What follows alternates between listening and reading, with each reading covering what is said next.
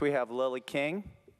She's from Evansville, Indiana. Competing at the Olympics is a dream she's had since she was a little girl, and now it's a reality. But reality still hasn't sunken in. I feel like I've been expecting this for so long, you know, four years now, um, that it, you know, like I finally, you know, I'm an Olympian. It's, it's kind of a relief, honestly. Lilly came out in the trials with a bang, getting wins in the 100 and 200 meter breaststroke, showing she belonged. And now it's time to change the focus from qualifying to getting ready for Rio. Just try to stick with my normal training plan. I don't think we're going to change things up too much because obviously it's been working.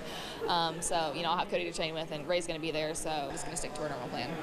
Now, Lilly did tell me, of course, she was nervous at the trials in Omaha and mostly for the prelims for some reason. But now, as it's on to the next and she prepares to go to Rio, she says it's a whole different kind of nerves and that she's not really nervous to compete, but she's nervous to meet her other teammates. They've all known each other for so long, you know. I mean, Michael Phelps has been an Olympian since I was three, so um, you know, to have all these, you know, veterans that I've been watching growing up um, on the trip is pretty cool. King will be taking in advice from those vets, but has full confidence in herself and has a demeanor and competitive spirit like none other. She's a shark, you know, and if there's a little blood in the water, she's going for it. The pool in Rio is full of blood and her eyes twinkle with gold and she won't settle for anything less. Definitely um, gold medal in the 100. I mean, you know, I'm the favorite going in, so that's where I'm looking. In the 200, I do want a medal.